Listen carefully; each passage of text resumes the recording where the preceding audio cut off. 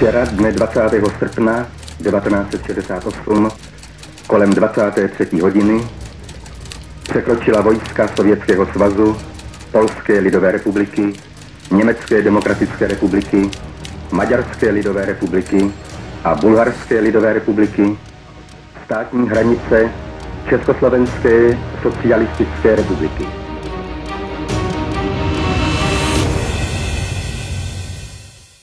Ctíme si e, veľké historické milníky, medzníky našej histórie, hoci niektoré neboli vždy radosné, tak ako bola okupácia z 20. na 21. augusta 1968.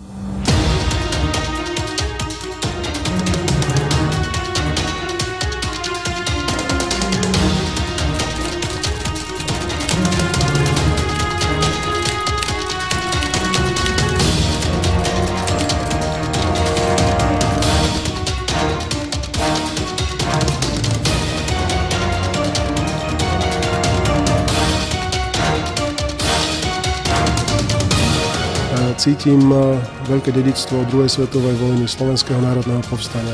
To znamená čias, keď nám tí spojenci pomáhali. Toto je trochu iný pohľad na našu históriu, keď nás naši vlastní spojenci od chrbta v noci prepadli.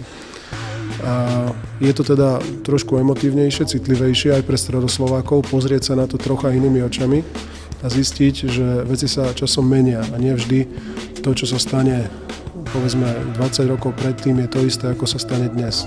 Predtým nás oslobodili a potom nás zákarne prepadli.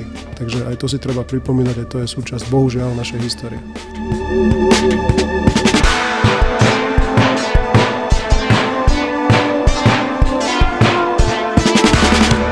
No, bolo to úžasne prekvapivé, pretože obyčajný človek, občan nebol na to pripravený absolútne, tak ako ani všetci šéfovia hore však a bolo to, to, to položilo každého na lopatky.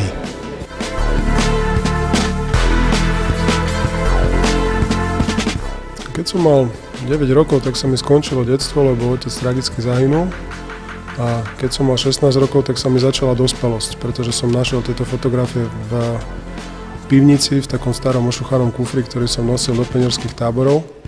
Tam ich otec choval, pretože viackrát ich hľadali policajti a žiadali ho, aby ich zničil. Mama dokonca ho žiadala, aby ich zničil, pretože tieto fotografie ho stáli profesionálnu kariéru.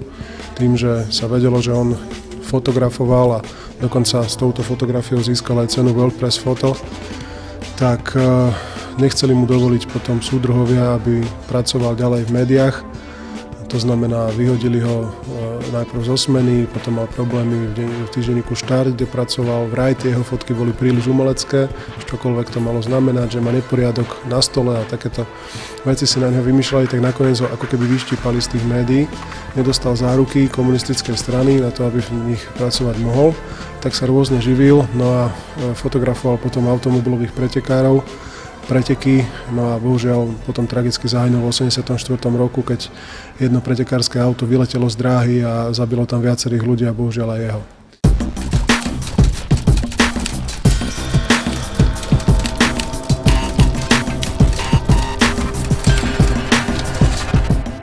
Po 89. počas Nežnej revolúcie prišiel najlepší kamarát, alebo jeden z najlepších kamarátov môjho otca, Palomeluš a chcel, aby sme tie fotografie hľadali sme hľadali, nevedeli sme ich dlho nájsť a nakoniec, ako som spomínal, v tej pivnici, v tom kufri som ich našiel. Mami, mám tanky, už bolo na prvých tých fotkách vidieť, že sú tam tie tanky.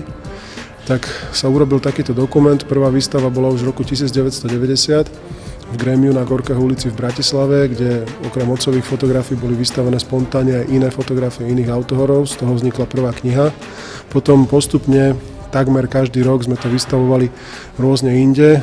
Prelomový pre nás bol rok 2008, kde sa táto výstava dostala široko, široko do sveta.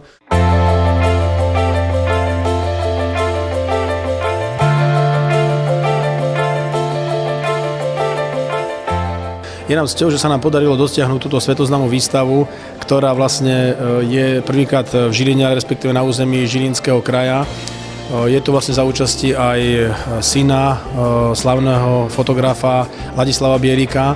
Jeho fotografia Muž s roztrhanou košelou, vlastne holou ľuďou pred uh, sovietským okupačným tankom sa stala svetoznámou doslova do písmena, či to bolo v New York Timesoch a vo všetkých vlastne významných tedajších printových tlačených médiách vo svete. Aj táto výstava je svedectvom toho, že mali sme ľudí, ktorí sa nebali svoj postoj deklarovať v 68. roku a Uh, treba povedať, že sa to správne volalo Dubčakovská jar a nie Pražská jar, ale to už je o tom, aby sme to zvykli, aby sme zažili sa hľadať objektivitu a nehľadať na tých svojich velikánoch alebo významných osobnostiach to, to negatívnejšie, ale skôr to pozitívne.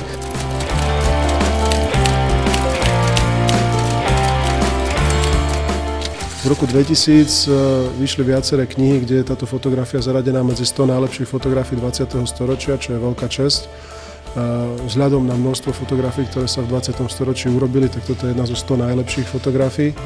Emil Galo sám pravdepodobne seba nevnímal ako nejakého hrdinu. Od jeho céry vieme, že mal túto fotografiu z tých novín vystrihnutú a mali odloženú šuflíku, ale bol to obyčajný vodoinštalatér, ktorý v deň, keď e, sa toto stalo, ráno, išiel vlastne z nočnej služby a spontánne vyjadril e, to, čo ostatní ľudia cítili týmto gestom. Zastavil tank obnaženou hruďou, nejakým ľudským výkrikom, to znamená tú obrovskú masu železa, niekoľko tónovú a to hlúpe delo, ktoré na ňom mierilo, neznamenalo nič oproti tej ľudskosti, ktorú on ukázal. Sám seba ale zrejme ako hrnidu nevnímal, skôr mal tragický osud, keďže krátko pred týmito udalostiami mu zomrela manželka, mal 4 deti. Krátko po týchto udalostiach mu zomrela aj mama, ktorá mu pomáhala s, východou, s výchovou tých štyroch detí, takže nakoniec bohužiaľ sám ukončil svoj život e, niekoľko rokov na to.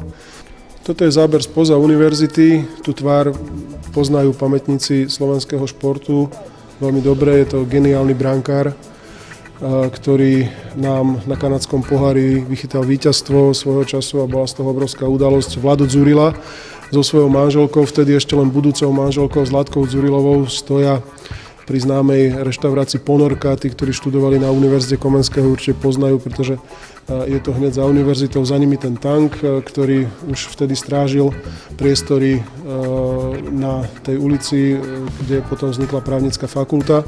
No a v rukách drží smenu, kde prvýkrát vlastne vyšla tá otcová fotografia a, a teda veľmi pozorne číta tie udalosti, samozrejme to pivko tam nesmie chýbať. Ďalší z veľmi silných príbehov počas 21. augusta 68 zaznamenal opäť e, legendárny, známy, kongeniálny básnik e, Dominik Tatarka, stojaci tu e, medzi protestujúcimi. Je to na podstavci, kde pôvodne stála socha Josipa Vysieronoviča Stalina, dnes je to námestie SMP v Bratislave, kde opäť ľudia veľmi spontánne protestovali. Dokonca Dominik Tatarka potom recitoval Morho, známu básen Sama Chalúbku a na ďalších fotografiách, ktoré nie sú takto zväčšené, ale tam na druhom konci je vidieť, ako ho ľudia nosili na rukách. Všetky tie udalosti som sledoval, pretože to bolo všetko súčasťou toho nášho vtedajšieho života. Áno a e, Laco Bielik, samozrejme vec, že v zmene mládežníckom časopise so svojou manželkou dávali vtedy najpresnejšie, najtrefnejšie správy o vývoji celkovej situácie. Zajtra budeme otvárať výstavu okrem tejto aj v Bratislave. Je to obdobná výstava. Budeme tam reštaurovať, keďže je to priamo v historickej budove Univerzity Komenského, aj pôvodné nápisy, ktoré ľudia vytesali do toho travertínu práve v tých dňoch, keď sa tam stali tie tragické udalosti. Jeden nápis eh, hlása tu, ruskí okupanti zabili 17-ročné dievča.